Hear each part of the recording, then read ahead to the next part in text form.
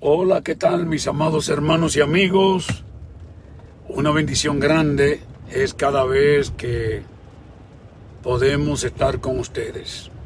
Estamos conduciendo bajo lluvia, no obstante, lo creí necesario de hablar un rato con cada uno de ustedes. Ah, les bendigo, shalom, gracia, paz y prosperidad.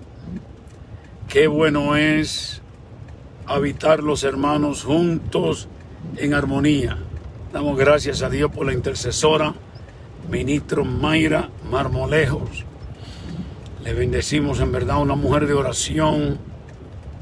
Ah, muchas de las cosas que suceden muchas veces no sabemos que es porque alguien está orando con nosotros y bajo promesa del Altísimo Dios, lo que pedimos es considerado en el cielo. Y allí naturalmente está la fuerza, la fuerza y el poder. Y damos honra y gloria, a Dios por las oraciones que suben diariamente. Yo soy muy afortunado de que el Señor nos ha dado un equipo bajo su gracia. un equipo que siempre ora Amén. Gracias a Dios por la esposa que me ha dado una mujer de oración, la pastora Kenia. Ella nos levantamos tempranito a orar y ya a estas horas del día estamos haciendo cosas. Entonces hoy salimos hacia por San Lucy para que ustedes oren ahí a predicar por tres días y salimos en breve. Voy hacia la casa ahora estaba haciendo unos mandaditos necesarios por aquí para el cuidado de la casa. Ah, pero pensando en ustedes y en esta lluvia que está cayendo, pensé en un mensaje que Dios me dio hace muchos años.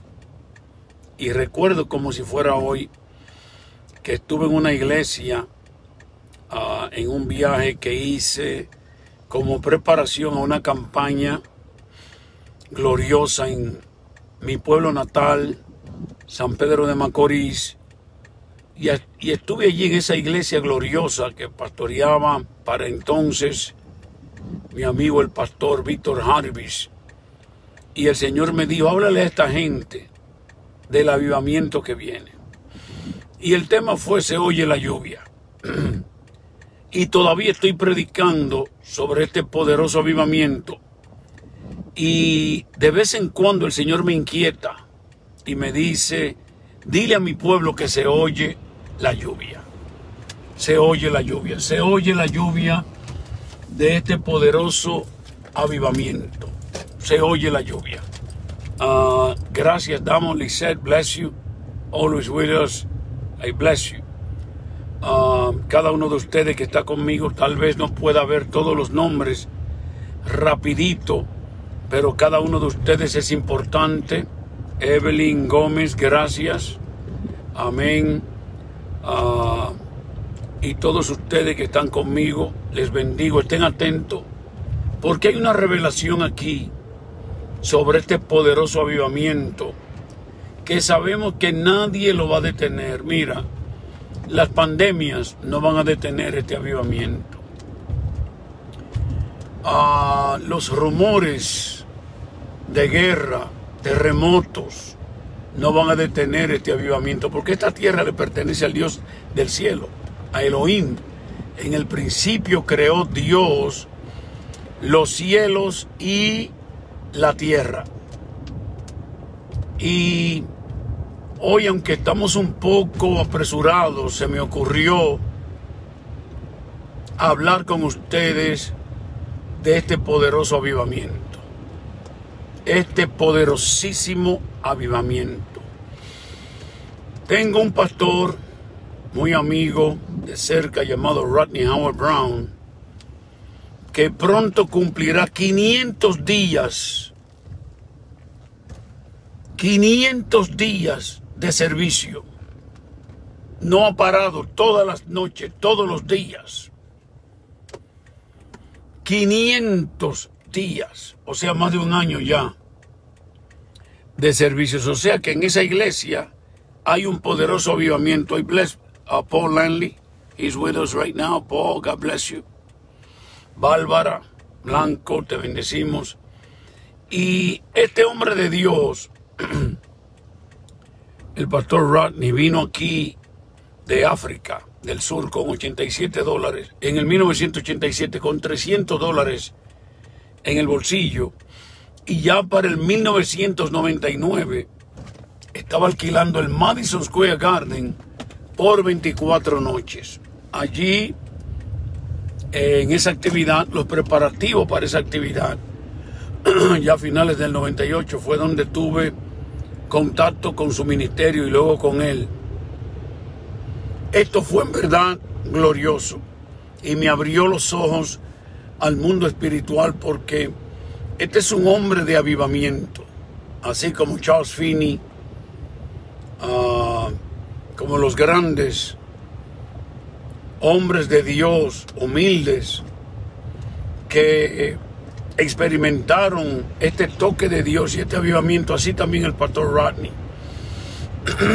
y cuando lo conocí que le dije que yo oía la lluvia, él empezó a reírse a carcajadas.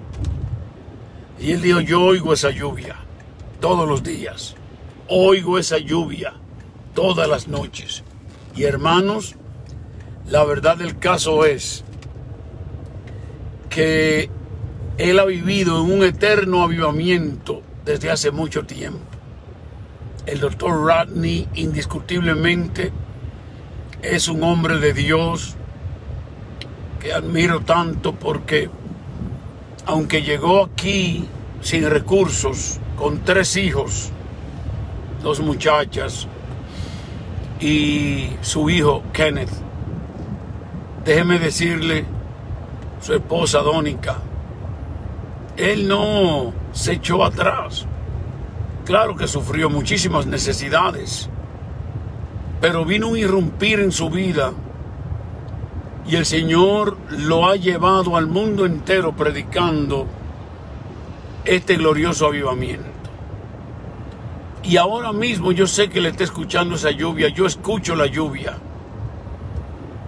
Y uno diría, pero ¿cuáles son los elementos? Bueno, hay tres elementos que son, número uno, oración. Sin oración no hay nada. Sí, oración. Número dos, visión. Hay que tener visión. Voy a explicar esto. Y número tres, y más importante, convicción. Convicción en lo que Dios dice. Porque lo que Dios promete, eso es lo que se va a cumplir. Muchas gracias por darle like a este mensaje. Yo estoy aquí por ustedes y para ustedes, de parte de Dios. Y no me voy a cansar de declarar que Jesucristo es el Señor. No me voy a cansar de declarar que el vino nuevo va a superar al añejo. Vienen cosas mayores. Prepárense, hermanos. Vienen cosas mayores. Y lo que estoy oyendo en esta lluvia, en este aguacero torrencial, es que el Señor descenderá.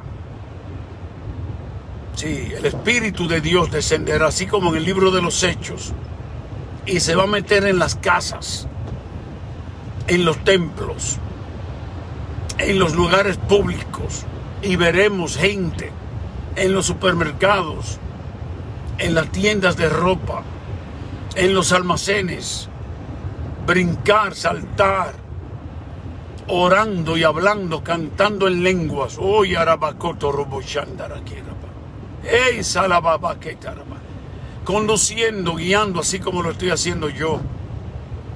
Y vamos a recibir ese toque. Claro que tenemos el Espíritu de Dios. Pero yo estoy hablando de algo mayor que viene, de algo mayor que se aproxima. Prepárate. Porque se oye una lluvia que viene. Que nada ni nadie la detiene. Se oye el sonido de un aguacero, de una lluvia torrencial. Yo siempre repito que cuando Elías ah, vino delante del rey acá, él le dijo, vive Jehová, Dios de Israel, en cuya presencia estoy, que no habrá lluvia ni rocío en estos años, sino por mi palabra. Y esa palabra lluvia ahí es matar. Y no hubo lluvia regular. No hubo ni rocío por la palabra. Pero ahora Él envía a su siervo al punto más alto, al cenit, allá arriba del Monte Carmelo. Yo he estado allá cuatro veces. Y déjeme decirle, no es un monte muy alto. Pero él le dijo, sube al monte porque de allí se ve el valle de Inón, se ve el mar Mediterráneo, se ve muchísimas cosas preciosas que no se veían de dónde estaba Elías. Y él le dijo, ve a ver si tú, qué es lo que tú ves allá. Esto es visión.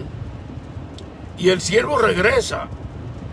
Pero el profeta de Dios que tiene convicción de que ya Dios había prometido que terminaría la sequía muy pronto, le dice, sube. Y él sube la séptima vez y regresa diciendo, yo veo, yo veo, esto es visión, yo veo una nube como el tamaño de la mano de un hombre. Oh, aleluya. Hay que tener visión para ver este avivamiento. Y hay que orar para gozarse en saber. Yo cada vez que oro, yo sé porque sé porque sé. Esto es convicción. De que este avivamiento viene y nada ni nadie lo detiene. Nada ni nadie lo detiene. Gloria a Dios. Nada ni nadie lo detiene. Y cuando regrese el siervo que le dice esto al profeta, ya era casi muy tarde. Oscureció, se nubló el cielo. Empezaron todas las señales de la lluvia que yo estoy viendo ahora mismo. Estoy hablando de la lluvia, del avivamiento que estoy hablando. Y lo veo tan claro en esta convicción que yo te puedo profetizar a ti. Que el pueblo de Dios gozará, el pueblo de Dios gozará de que millares de personas van a estar tocando las puertas de los templos. Van a querer que los templos no cierren porque será su único sosiego. Porque lo que estará ocurriendo fuera, si lo que estará ocurriendo fuera será devastador. Va a haber muerte, guerras, ciclones, terremotos. Pero dentro de los templos o donde quiera que se esté adorando a Dios, va a haber paz, va a haber gozo. Aleluya. Ey, Rabakoto Robuchandar aquí, Rabá. Salababai, Kei, oh Rabakoto Lobosaya. Bueno, el que haya recibido este don de hablar en otras lenguas, mire, empiece a orar en otras lenguas, que se va a edificar. Empiece a cantar en otras lenguas, que usted se va a empoderar. Empiece a hablar en otras lenguas. Y le llegará un momento glorioso a su vida. Yo estoy contentísimo. Oh sí, denle share a este mensaje. Envíen estrellas, denle like. Comparte este mensaje con su gente para que se animen también porque se oye el sonido de una lluvia que viene. Se oye el sonido de esa lluvia venidera. Se oye el sonido de esa lluvia torrencial. Aleluya. Y ya el ser cristiano no va a causar más vergüenza. Porque yo no me avergüenzo del Evangelio porque es poder de Dios. Y este Evangelio del reino será predicado en todo el mundo como testimonio a todas las naciones y entonces vendrá el fin. Siempre mi esposa y yo hablamos de esa mujer de Dios, Mayra Marmolejos, que tiene un espíritu de oración como yo no he visto. Un espíritu de oración, que eso es orando de día y de noche. Y es así esta mujer desde que la conozco, desde el 1990 y yo sé que antes pero yo la conocí en el 90, siendo una mujer joven todavía, y la mujer oraba y oraba Y a mí se me dijo, esa es una mujer de oración profética. Y así mismo ha sido. Y doy gracias. Lo contamos como un gran privilegio que Mayra sea parte de este equipo de atalayas con esas atalayas gloriosas que Dios tiene para con nosotros. Es algo glorioso. Doy gracias a Dios a ese taxista que me dejó pasar. Qué bueno. Estoy contento porque estoy hablando con ustedes y sé porque sé que así como está cayendo esta lluvia, yo no sé si está cayendo en el lugar donde tú estás, pero ahora mismo está cayendo una lluvia. Esta lluvia que yo hablo será mayor. Esta lluvia que yo hago, que yo oigo, será algo sin igual. Aleluya. Oh, gloria al nombre de Dios. Gloria a Dios. Una lluvia torrencial como ninguna otra. Doy gracias a Dios y bendigo en el nombre de Jesús. Qué bonito es el Señor. Pues sí, tres elementos. Oración. Orad sin cesar. No se canse usted de orar. Esto es orando de día y de noche. Orando todo el tiempo. Hay que orar sin cesar. Esto es todos los días. Sí, ore. Ore en todo tiempo. Ore por las mañanas como Jesús antes que salga el sol. Ore toda la noche como oraba Jesús. Y segundo, segundo, lloro que el Señor abra tus ojos para que tú veas. Abre sus ojos, Señor. Abre sus ojos. Abre sus ojos para que vea. Es algo grande. Y en todo esto guardemos la fe. Sin fe es imposible agradar a Dios. Guardemos esta fe, porque este avivamiento viene. Hay que tener convicción. No importa lo que esté diciendo el hombre. No importa lo que estén diciendo las noticias. No importa lo que estén profetizando los falsos profetas. Este avivamiento viene y no se detiene. Este poderoso avivamiento de Dios. Gloria al nombre del Señor. Aleluya. Dios es bueno. Gloria al Señor. Damos gloria a nuestro Dios. Bueno, mis hermanos, ustedes sigan adelante. Damos gloria a nuestro Dios. En este momento se oye el sonido de una lluvia torrencial. Se oye ese sonido grande. No se detengan ustedes de orar, de dar gracias al Señor.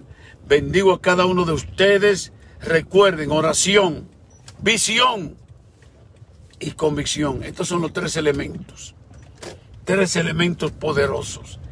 Bueno, he llegado a este lugar de destino. Ahora me despido y la próxima vez que nos veamos estaremos transmitiendo desde Port St. Lucie. La bendición de Dios sobre cada uno de ustedes en el nombre de nuestro Señor y Salvador Jesucristo. Gracias por esas estrellas Gracias a Bárbara, Estrella Brillante, te bendigo, Vicky Cabaza, todos ustedes que han estado conmigo, Joaquina Luna, qué bendición. Y doy gracias ahora que veo a Joaquina, que ustedes han continuado apoyando estos lives, enviando su ofrenda. Amén. Damos gracias a Dios por ustedes. Hay que seguir hacia adelante. Bendecimos a Arelis. Ah, te bendecimos en el nombre de Jesús. Gracias por Yulisa, Ana Lugo. Amén. Dios es bueno. Le bendecimos. Amén. Se oye el sonido de una lluvia poderosa.